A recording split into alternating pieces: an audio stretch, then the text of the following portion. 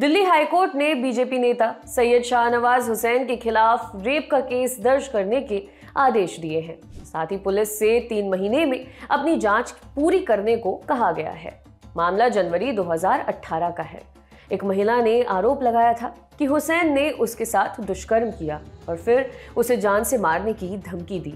पीड़िता ने निचली अदालत में याचिका दायर कर हुसैन के खिलाफ दुष्कर्म के आरोपों के तहत एफआईआर दर्ज करने की गुजारिश की थी। अब दिल्ली हाईकोर्ट ने मामला दर्ज कर जाँच का आदेश दिया है। दिल्ली हाईकोर्ट में जस्टिस आशा मेनन की एकल जज पीठ ने पुलिस को आदेश देते हुए कहा है कि शाहनवाज हुसैन के खिलाफ दुष्कर्म सहित अन्य धाराओं में एफआईआर दर्ज की जाए। साथ ही दिल्ली हाईकोर्ट ने कहा, सभी तथ्यों को देखने के बाद मामले में एफआईआर दर्ज करने को लेकर पुलिस की ओर से अनिच्छा नज़र आ रही है। पुलिस की ओर से निचली अदालत में पेश रिपोर्ट, अंतिम रिपोर्ट नहीं है।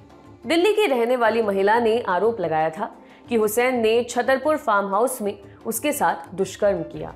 जान से मारने की धमकी भी दी। जनवरी 2018 में पीड़ित महिला ने निचली अदालत में याचिका दायर कर हुसैन के खिलाफ दुष्कर्म की एफआईआर दर्ज करने की गुजारिश की थी। इससे पहले निचली अदालत ने पुलिस के तर्क को खारिज कर दिया था। अदालत ने कहा था कि महिला की शिकायत में संज्ञेय अपराध का मामला है। संज्ञेय अपराध, वो अपराध है, जिसमें गिरफ्तारी के लिए पुलिस को किसी वारंट की ज़रूरत नहीं होती।